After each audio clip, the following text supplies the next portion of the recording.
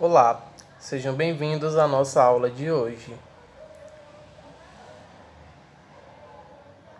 Pessoal, estamos na terceira semana do mês de julho, na nossa disciplina de Matemática 2. Também estamos na nossa décima primeira semana de atividades remotas e a nossa agenda da aula de hoje consiste na correção da atividade das páginas 180 e 181.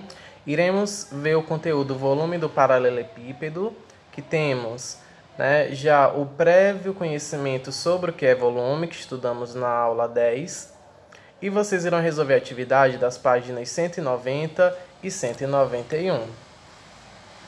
É, a primeira questão se encontra na página 180 e ela pede para completar as igualdades com os números adequados. Bom, na aula passada nós vimos algumas equivalências entre as unidades de medida de volume nós vimos que um decímetro equivale a 10 centímetros. Vimos que um decímetro cúbico é igual a um litro.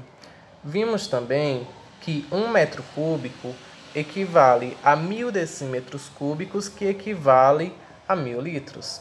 E vimos também que um centímetro cúbico equivale a 1 ml. Então, com base nesse conhecimento, nós iremos resolver a questão 1. O item A tem 5 decímetros cúbicos, é igual a tantos litros.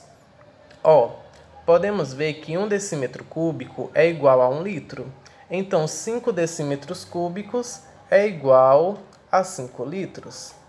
Né? Essa é a equivalência de decímetro cúbico e litros. No item B, nós temos 8,01 metros cúbicos e quer saber quantos decímetros cúbicos equivale.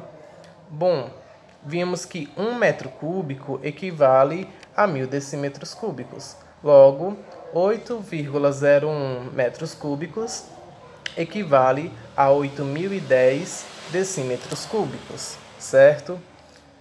É, no item C, ele quer saber quantos metros cúbicos equivale a 2.470 litros. Vimos que 1 metro cúbico equivale a 1.000 litros. Sendo assim, 2.470 litros equivale a 2,47 metros cúbicos.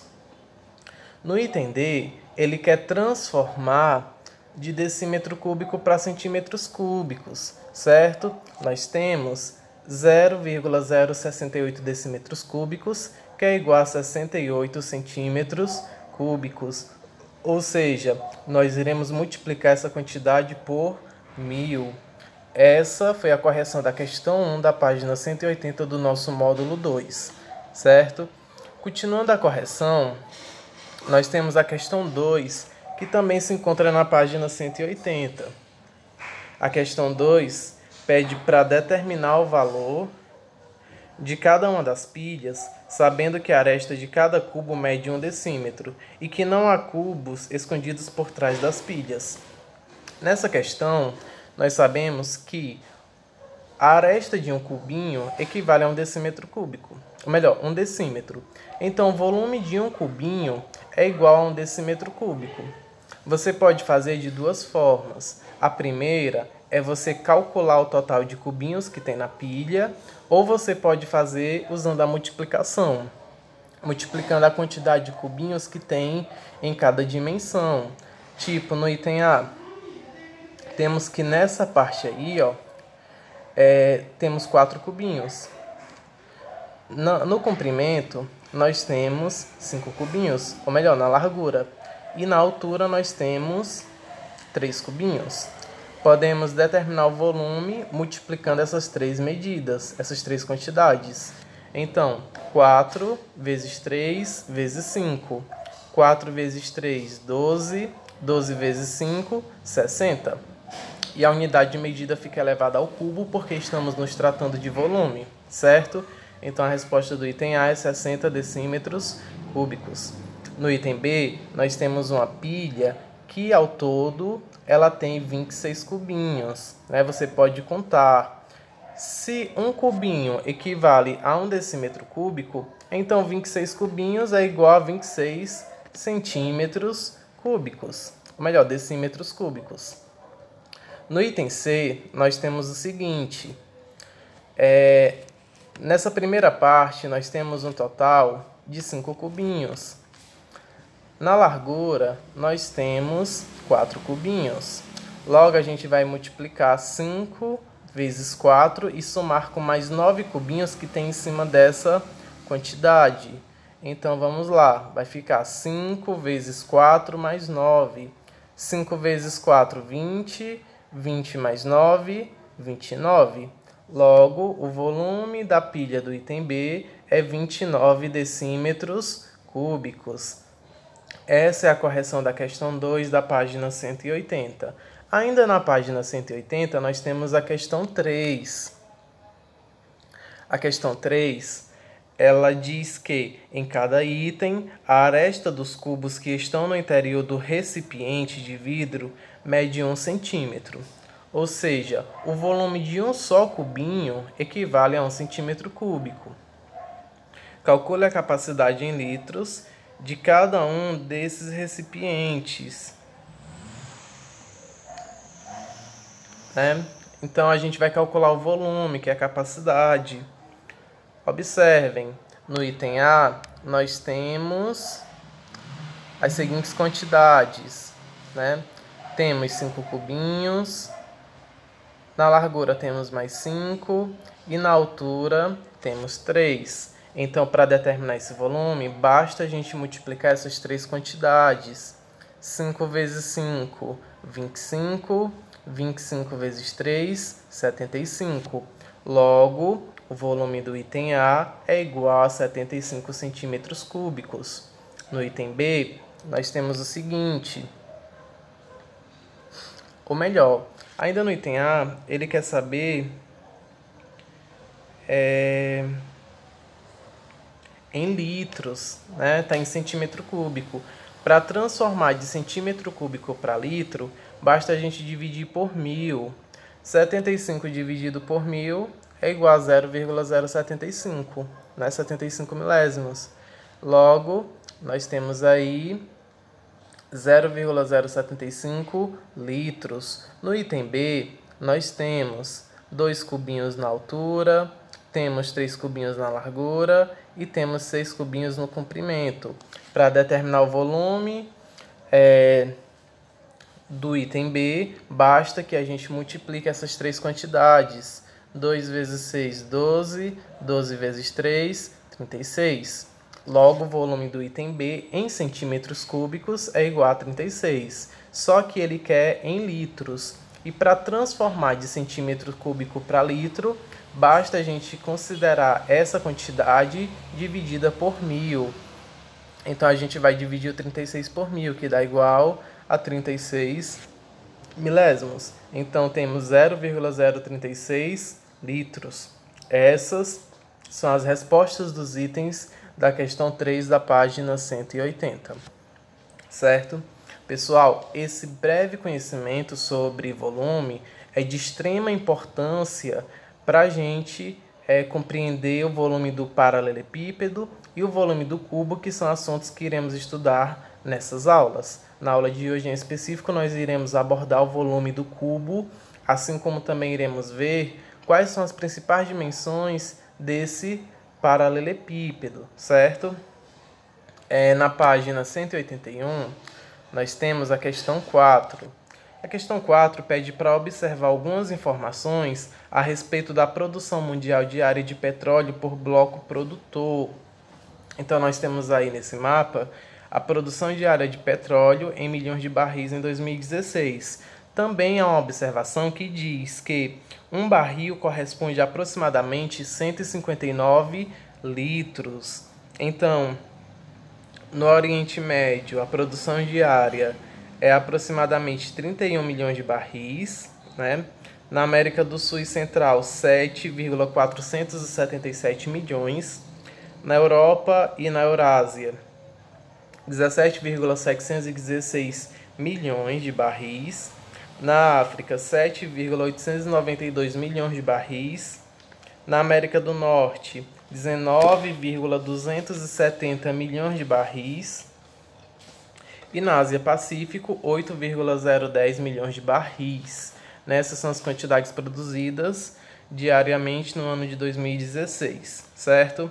O item A, ele pergunta qual foi o total em barris de petróleo produzido diariamente no mundo em 2016? Bom, para responder o item A, a gente vai fazer a soma total da quantidade de barris produzido em cada canto do mundo. Então, temos 31,789 mais 7,474 mais 17,716 mais 7,892 mais 19,270 mais 8,010. Galera, quando a gente está trabalhando com números decimais, no caso da soma, é importante que a gente deixe vírgula abaixo de vírgula para assim facilitar o nosso cálculo. Somando isso tudo, nós temos um valor de 92,151, certo? Então, o total de petróleo produzido diariamente no mundo em 2016 foi de 92,151 milhões de barris. Essa é a resposta do item A da página 181. Ainda na página 181 temos o item B que diz: usando uma calculadora, determine qual foi a produção diária em litros de petróleo na África em 2016. Pessoal, ao multiplicar a quantidade, né, nós sabemos que um barril é igual a 159 litros. Ele quer saber o da África, que foi de 7,892. Iremos multiplicar essa quantidade por 159, que vamos obter este valor, certo? Ao multiplicar por 1 milhão, porque são em milhões, temos exatamente, ou melhor, aproximadamente esse quantitativo da produção diária de petróleo apenas no continente africano, certo? Ainda nessa página, temos o item C, que diz qual tipo de gráfico é mais adequado para apresentar as informações presentes nessa atividade. Justifique sua resposta no seu caderno. Pessoal, o tipo de gráfico mais adequado é o gráfico de colunas ou barras. Por quê, né? Porque ambos favorecem a comparação entre os valores. Essa é a justificativa para esse item, certo? Então, essa foi a correção da atividade da, desta aula, da aula passada. Agora nós iremos dar sequência, né? Antes da gente entrar no volume do paralelepípedo, vamos relembrar o que é o volume que estudamos na aula passada, que o volume é a medida do espaço ocupado por um corpo. Isso é o volume, certo? é, vimos alguns exemplos, como por exemplo o volume da água em uma caixa d'água, a sua capacidade, e vimos que a unidade padrão de medida do volume é o metro cúbico, certo? É, vimos também que há outras unidades que também são usadas no volume, como por exemplo o centímetro cúbico, né? Vimos também que há uma equivalência entre as unidades de medida, certo? Vimos que um decímetro equivale a 10 centímetros. Vimos também que um decímetro cúbico equivale a um litro, assim como um metro cúbico equivale a mil decímetro cúbico, que equivale também a mil litros. E estudamos que um centímetro cúbico é igual a 1 ml. Pessoal, hoje nós iremos estudar o volume do paralelepípedo, né? E antes da gente é, estudar o volume propriamente dito, devemos lembrar que o paralelepípedo ou bloco retangular tem as seguintes dimensões. Ele possui altura, ele possui comprimento e possui também a largura, certo? Então, essas são as três dimensões do paralelepípedo ou do bloco retangular. O volume do paralelepípedo consiste em você multiplicar essas três dimensões. Então, você vai multiplicar a altura vezes o comprimento vezes a largura para poder obter o volume de um paralelepípedo. Também não podemos nos esquecer que a unidade de medida ela vai ficar elevada ao cubo, porque você vai estar multiplicando essa unidade três vezes, certo? Agora nós iremos para um exemplo, certo? Iremos usar o mesmo cubo, né, que nós vimos, e nele vamos destacar as seguintes medidas. É, ele tem 3 centímetros de altura, ele possui 9 centímetros de comprimento e possui 2 centímetros de largura, certo? Então, para determinar o volume, nós sabemos que basta multiplicar essas três medidas. O volume do cubo consiste em a gente multiplicar as três dimensões. Logo, o volume vai ser igual a 3 vezes 9 vezes 2. 3 vezes 9, 27. 27 vezes 2, 54. Como as medidas estão em centímetros, o volume vai ficar em centímetros cúbicos. Logo, o volume do cubo do exemplo é igual a 54, ou melhor, do paralelepípedo, é igual a 54 centímetros cúbicos. Certo, pessoal? Qualquer dúvida em relação a esse assunto, nós temos os nossos plantões Tira Dúvidas toda quinta-feira para sanar as principais dificuldades Assim como também temos o grupo do WhatsApp da turma, certo? Então qualquer dificuldade, qualquer dúvida pode estar nos contactando que iremos é, solucionar esses problemas.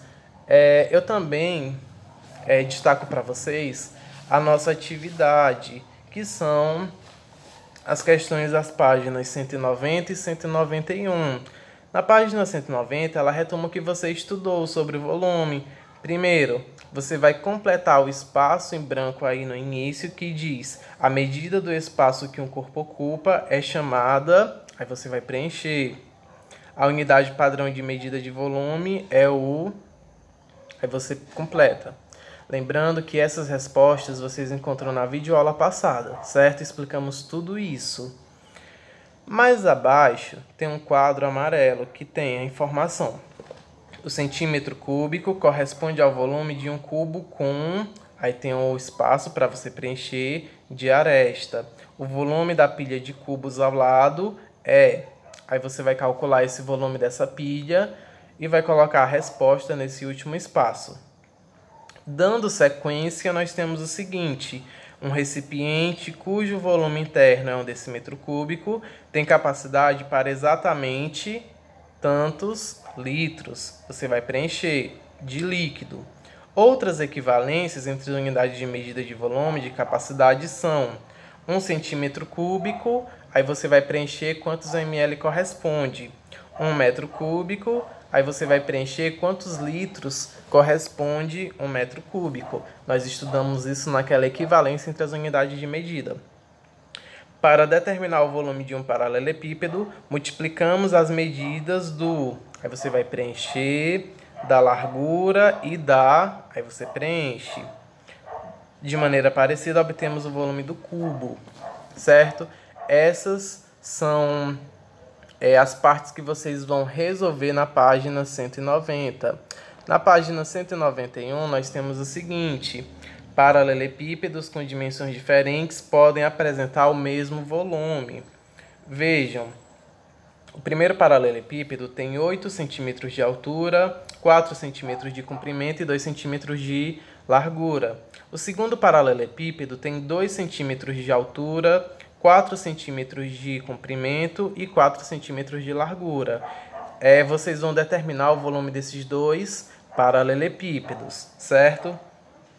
O cálculo do volume de figuras geométricas espaciais obtidas com a composição de paralelepípedos pode ser feito com auxílio da decomposição dessas figuras. Vocês podem ver aí que tem uma figura, tem uma figura e ele cortou essa figura para é, calcular o volume separado. Né? Logo, nessa questão, você vai determinar o volume desta figura, desse sólido geométrico, certo? É, pessoal, como eu havia dito antes, toda quinta-feira nós temos o nosso plantão Gera Dúvidas. Né? O de matemática acontece a partir das 1 e meia da tarde, a partir das 13 e meia. Né? Eu aguardo todos. A participação é de extrema importância, então eu conto com a colaboração de todos na é, atenção na videoaula, em participar dos grupos da turma para sanar as principais dúvidas, assim como também manter a audiência nos aulões dos plantões tira dúvidas e postar as fotos das atividades na plataforma do Google Classroom, porque é lá que a gente é, consegue ter o controle dos alunos que estão fazendo as atividades, certo? Então é de extrema importância a sua participação nas nossas aulas. Eu agradeço demais a atenção de todos e o meu muito obrigado.